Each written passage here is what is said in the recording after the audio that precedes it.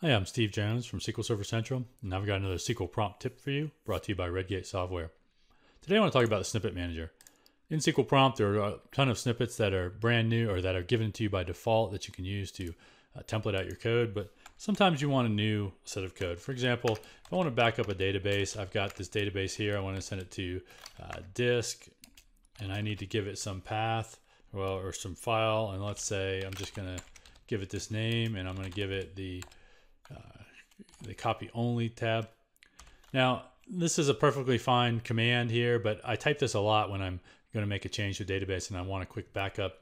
I also want this to go to a specific folder sometimes that's away from my other items, so I can put that in there. And I like to format this in a certain way so that I can easily see what options are going on, what's being run with this backup. So let's make this a quick snippet for me. Come to the snippet manager, hit new, I'm going to call this the BU snippet, uh, backup database, copy only here.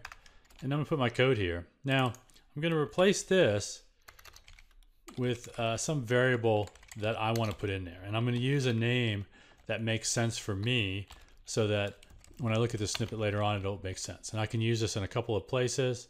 And uh, in fact, if I wanted to, I could do more, but let's save that. Say, okay, let's get rid of this code.